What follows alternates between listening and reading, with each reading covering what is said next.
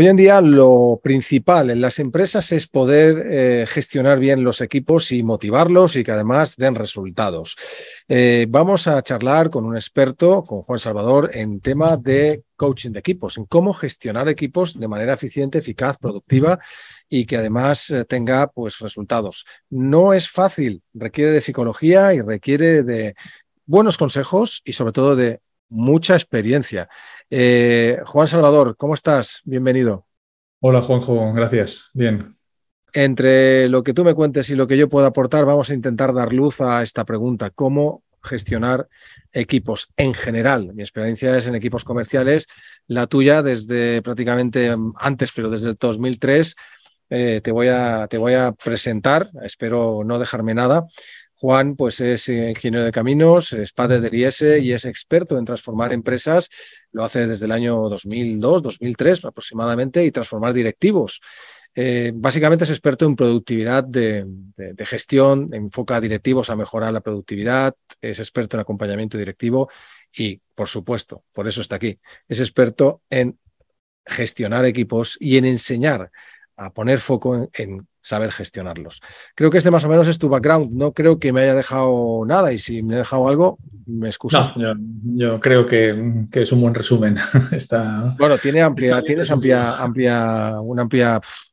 Has estado además eh, dirigiendo pues estamentos públicos, empresas privadas, has estado en todo tipo de, organismos como directivo. Y, y, claro, yo imagino que entre un organismo público y uno privado sí que habrá diferencias, pero al final el problema es el mismo.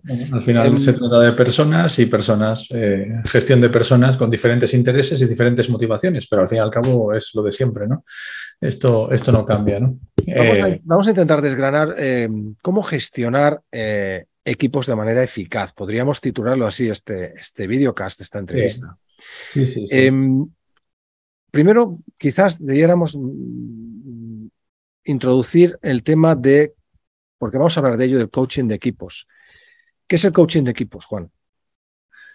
Bueno, el coaching de equipos es eh, pues esa disciplina que lo que trata es eh, de identificar eh, pues una serie de problemas que pueden ocurrir en los equipos de trabajo, que ya están, nos referimos a equipos de trabajo naturalmente, eh, que ya están formados y que por alguna de las razones que podremos comentar después, eh, se, bueno, pues eh, no, no, no, sacan el resultado que se esperaría a priori de, de ese equipo. ¿no?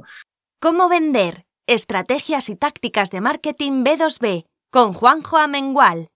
Suscríbete en comovender.info y ponte al día en marketing orientado a ventas. Bueno, pues entonces el, coaching de equipos pretende, eh, pretende a través de una serie de, de actividades, una serie de, ejercicios, de reflexiones grupales, etcétera, pues lo que pretende es pues, pues bueno, pues hacer consciente a un equipo de los problemas que está teniendo para posteriormente poder eh, pues bueno, pues, pues resolverlos. ¿no?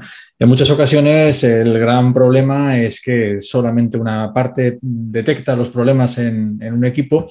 El equipo no suele ser consciente de sus problemas más allá de sus eh, conflictos que pueda tener, conflictos internos que pueda tener, pero, pero bueno, entonces, eh, pero hay alguien que sí detecta, ¿no? Que, pues bueno, por ejemplo, algo muy elemental, ¿no? Que eh, la, suma del talento individual eh, que conforma un equipo, pues resulta que, el, el, equipo pues, pues no suma las sumas individuales, ¿no? Uno esperaría sumar más ¿no? que el talento individual. Y cuando eso no ocurre, pues ahí pues, pues suele ser un indicativo de que tenemos un problema. ¿no?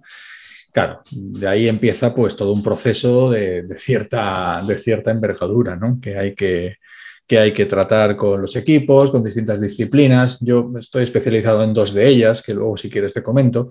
Pero bueno, básicamente lo que... ¿En cuál estás especializado? O que me comentaste, pero y sé, sé por tu experiencia en, dos concretas, ¿no?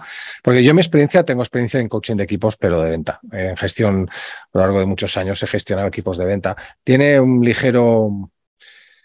Quizás sea diferente, ¿eh? luego, luego lo veremos, pero bueno, Probablemente, ¿no? Entonces, la, yo creo que sí, que tiene una, es una disciplina quizá un poco diferente, a la que yo no me he dirigido nunca eh, en temas de ventas, eh, tampoco es mi especialidad ni pretendo entrar en ello, ¿no? Pero la, bueno, pues hay dos disciplinas fundamentales, ¿no? Que es la de eh, la del coaching de equipos clásico, que es aquella en la que un equipo se marca un objetivo y tratamos de establecer dinámicas para conseguir alcanzar esos objetivos, ¿vale? Esa es una, una de ellas, muy básica. Y hay otra en la que me, bueno, pues me, me he formado recientemente y que, y que, bueno, que hace tiempo que estoy intentando eh, bueno, que trabajo en ello, que es una disciplina que es el, método Belvin. El método Belvin, que si quieres luego entro un poquito a, a, disgregar, bueno, a, detallar. ¿En qué consiste? Em, cuando tú entras en una empresa y, detectas, bueno, has hecho un comentario interesantísimo, que es que efectivamente a veces pensamos que la suma individual pues incluso será exponencial, aquello del 2 más 2 serán 5, y a veces incluso resta si no llevas bien un equipo, ¿no? Em, yo siempre era consciente y hablaremos del tema del tóxico, que es un tema para mí es importantísimo, que no te desmonte todo un equipo. He visto equipos desmontados por gente tóxica y si no se sabe llevar a, un corte rápido de esta persona, mm, te puede desmontar un equipo. Pero bueno, en general, los problemas más ah, habituales que tú ves en la gestión de un equipo, cuando un directivo, que tú eres experto en acompañamiento directivo, le solucionas ese problema, ¿Cuáles son los principales problemas de, a la hora de, de, por parte de un directivo, de gestionar su propio equipo, de gestionar un equipo? A, mí me parece que buena parte de, los problemas que se pueden encontrar en un equipo vienen de, pues bueno, como todo equipo y como, toda, como todo grupo humano, pertenecemos a un sistema. ¿no? Entonces se, ha creado una disciplina alrededor de, lo que se conoce como el coaching sistémico, que tiene sus leyes, que cuando se infringen, pues es cuando empieza a pasar cosas, ¿no? Y es cuando somos conscientes de ello, ¿no? Y entonces es ahí donde tenemos problemas. El coaching sistémico significa que toda persona en, su, pues pertenece a un sistema, a otro sistema de personas, eh, o perteneces a tu sistema familiar, perteneces a tu sistema de, trabajo, perteneces a un sistema y tiene sus propias leyes, ¿no? Por ejemplo, tiene la ley de la pertenencia, es decir, aquella que, dice que toda persona que está en un sistema pues tiene derecho a, pertenecer a ese sistema, ¿no? Bueno, pues hay cuánta gente que no se siente del todo eh, a gusto en un equipo de trabajo, ¿no? Eso ahí estamos, digamos, violando la primera ley de la pertenencia, ¿no? O la ley del equilibrio, que dice, oiga, que en la medida de lo posible vamos a dar lo mismo que recibir, ¿no? Y esta es la típica ley que, que es muy fácil incumplir, ¿no? O la ley, por ejemplo, de la, de la antigüedad o la ley de la jerarquía. Oye, pues, pues oye, hay, hay, leyes que cuando se infringen, pues, pues están pasando cosas, ¿no? Y de ahí, pues, pues empiezan a surgir problemas, ¿no? Entonces, todos estos problemas son los que trata de detectar una, eh, una disciplina de, este tipo. ¿no? El coaching de equipo es más enfocada a mejorar eh, este tipo de, resolver este tipo de conflictos que pueden salir y la metodología Belvin más enfocada a hacer un equipo de trabajo lo mejor coordinado posible. De manera que al final no tanto en arreglar lo que no funciona como en hacer que lo que vaya que venga en el futuro funcione mucho mejor. Eh, dos formas de enfocar eh, una, misma, una, misma, historia. La verdad es que eh, se complementan muy bien las dos.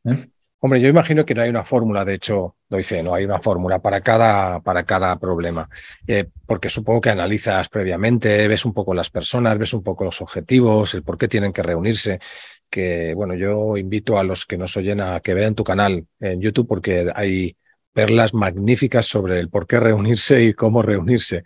¿Y por qué eh, no reunir?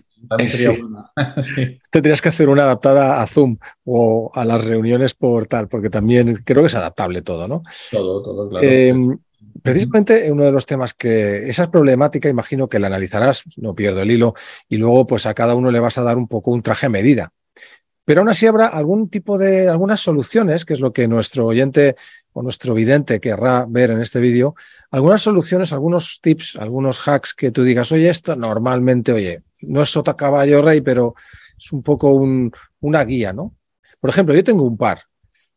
La primera, pues, es eh, al margen de las reuniones de equipo, tienes que tener sí o sí en la parte comercial reuniones individuales. Reuniones individuales, mm, también periódicas, donde trates el día a día y donde si tienes que decir las cosas como son, las digas. Aquella máxima de decir, eh, las reprimendas siempre en, en, privado y las, los premios siempre en público. Para mí es una máxima que funciona y no siempre se hace así.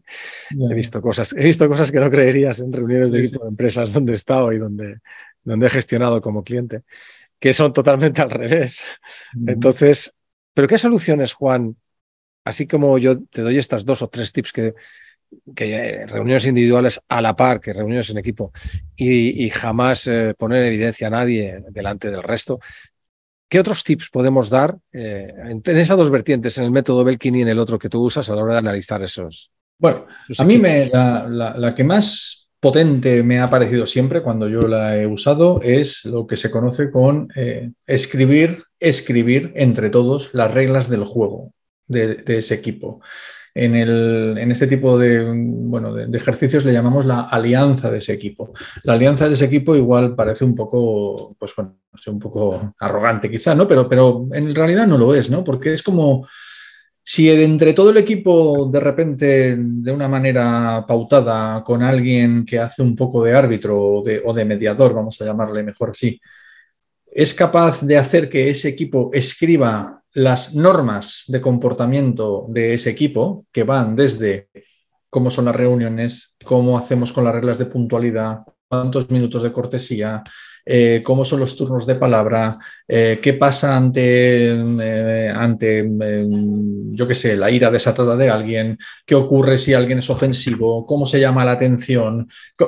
Absolutamente todo lo que se pueda llegar a imaginar en el comportamiento de un equipo se puede llegar a escribir es impresionante ver eh, lo que ocurre cuando escribes las normas del juego, las normas en, las que nos deberíamos ceñir. ¿no?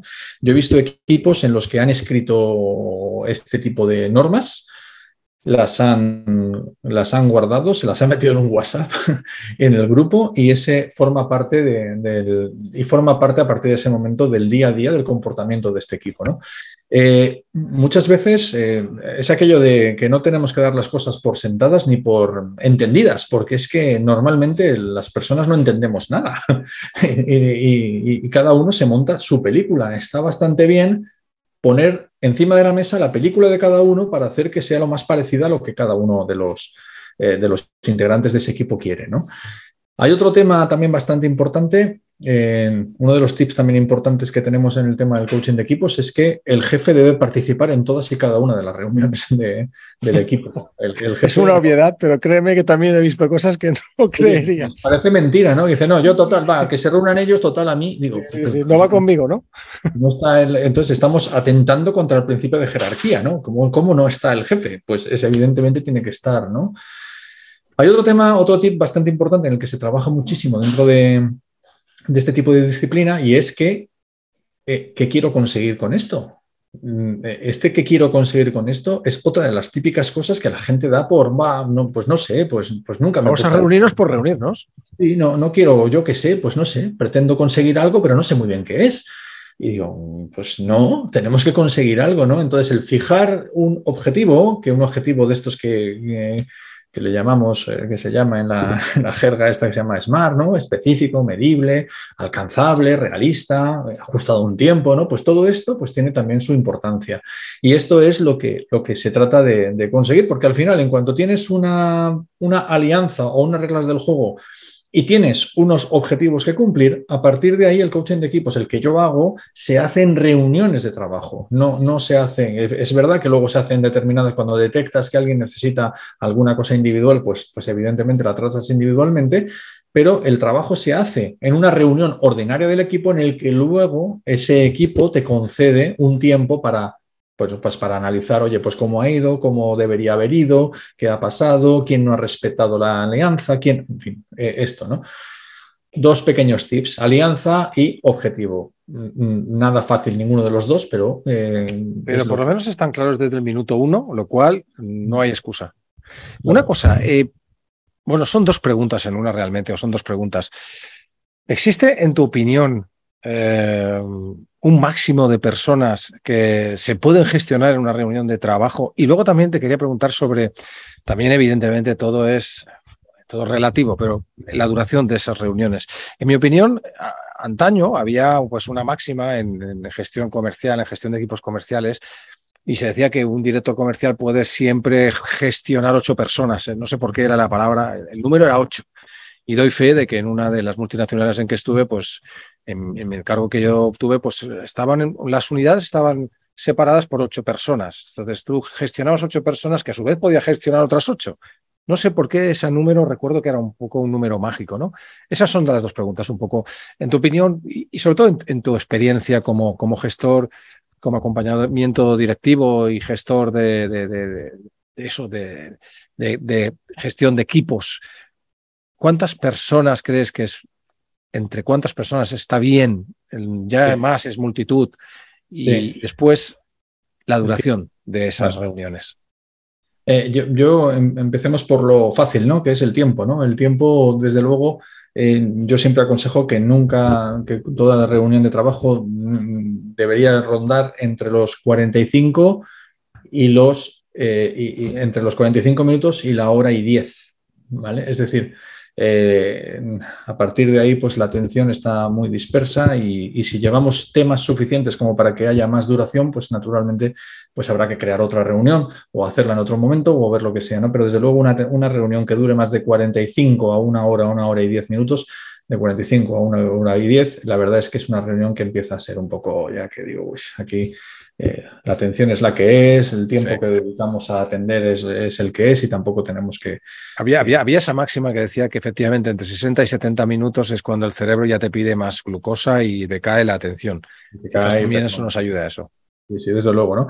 Y en cuanto al número óptimo de personas, pues casi que, casi que aprovecho para enlazar con la otra metodología, ¿no? Con la que, precisamente habla un poco de esto, ¿no? De la metodología de Belvin, ¿no?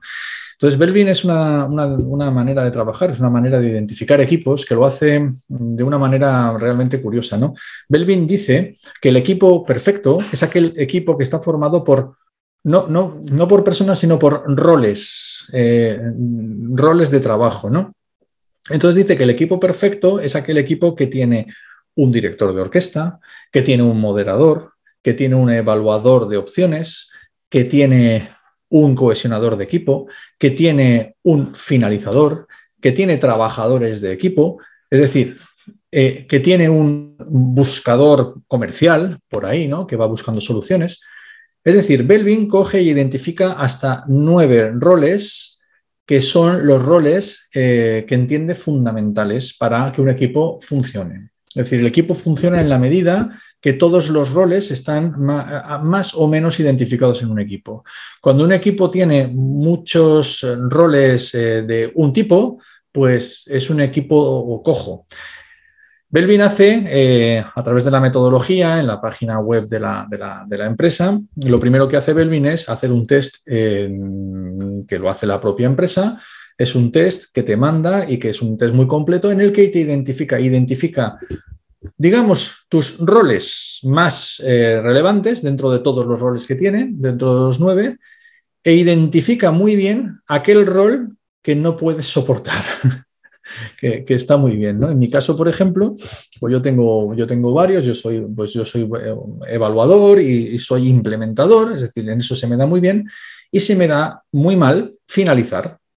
Por lo tanto, si a mí me pones en un equipo a finalizar cosas, ese equipo está condenado al fracaso. Y está muy bien saber esto. Sin embargo, si me pones a llevar determinadas cosas, a implementar acciones o, evaluar opciones, pues es un equipo en el que probablemente eh, pues yo pueda aportar mucho de mi valor. Y así todas y cada una de las personas. Y es realmente interesante. ¿eh? Muy interesante. Eh, podríamos estar hablando más, pero yo te voy a emplazar para que vayamos a tocar un tema que es especialmente eh, digamos que preocupante, que es el tóxico en los equipos. Pero antes de tocar ese tema, pero antes, perdón, que se me cae el micro, de tocar ese tema, quería emplazar un poco a los que nos ven a que vean en juansalvador.es o que pongan Juan Salvador Iriarte en cualquier buscador, en Google o en YouTube, y que vean las perlas que nos puedes, que nos ofreces en, en tu canal, en tu web, sobre la gestión, acompañamiento directivo, mejora de procesos, mejora de gestión directiva y mejora de lo que estamos hablando aquí, de reuniones eficaces y gestión de equipos eficazmente, que es lo que estamos tratando. Eh, el tóxico da para ese tema aparte que vamos a tratar, pero en general, eh, alguien que, está a punto de tirarlo todo por la borda eh, en las reuniones de equipo porque hay uno o dos tóxicos que luego eso se multiplica como, como el cáncer, ¿qué recomendación le darías a priori y rápida? Eh, mi experiencia en este tema, que me he tenido que enfrentar a, muchas personas tóxicas a lo largo de mi vida, eh, mi experiencia en este tema es, bastante, bastante dura en este aspecto. El, tóxico no tiene que estar en la empresa. Eh, y ahora no te oigo ahora, Juanjo. No, que decía que efectivamente eh, eh, no es fácil y normalmente las soluciones suelen ser bastante drásticas y por eso la experiencia no es cómoda, evidentemente. El tóxico tiene esa, esa, virtud que es secuestrar al empresario eh, con, con, una supuesta o aparente bondad técnica que parece que nadie puede emular, ¿no? Y entonces, basándose en, esa, en, esa, bueno, en ese amplísimo conocimiento que dice que tiene, pues de alguna manera, y además lo digo así con las palabras, ¿no? Secuestra al empresario porque dice, yo no puedo prescindir de esta persona porque sería peor el remedio que la enfermedad, ¿no? Cuando en realidad la enfermedad está creando un, problema muy gordo en el equipo, en, el, en, en todo, ¿no? Y la verdad es que eh, la identificación de las personas tóxicas es una de las labores más importantes que hay en una empresa, ¿no? Porque, porque son terribles.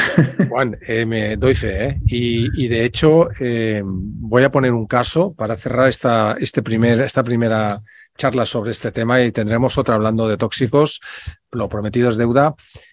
pues una, una subordinada mía hace ya tiempo que se fue fuera de España y me llamó al cabo de los años eh, y me dijo, oye, es que me han hecho jefa. Y resulta que ahora en las reuniones, claro, yo con los colegas, pues eh, hay uno que es pues padrino de mi hijo y tal, y que viene a casa y tal.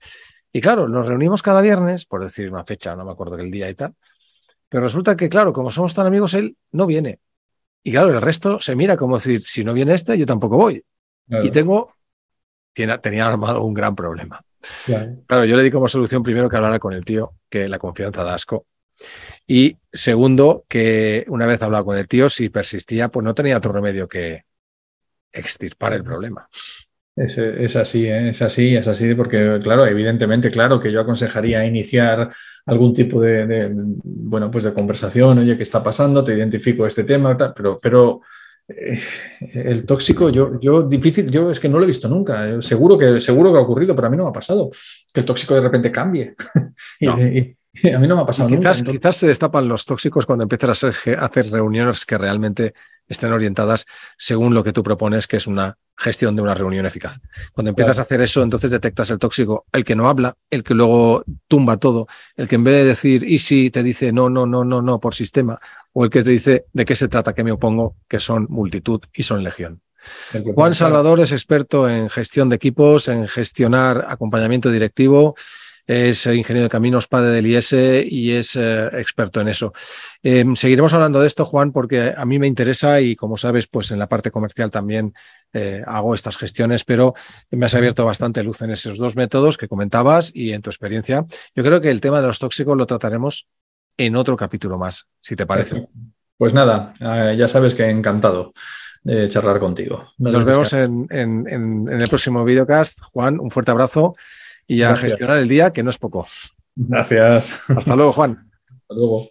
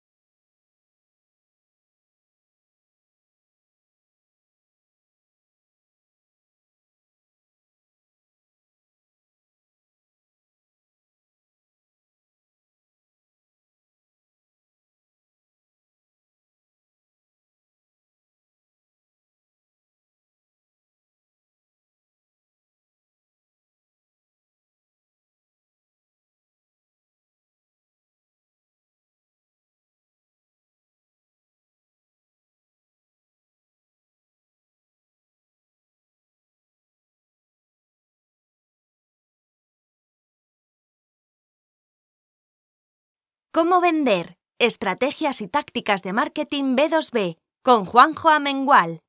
Suscríbete en comovender.info y ponte al día en marketing orientado a ventas.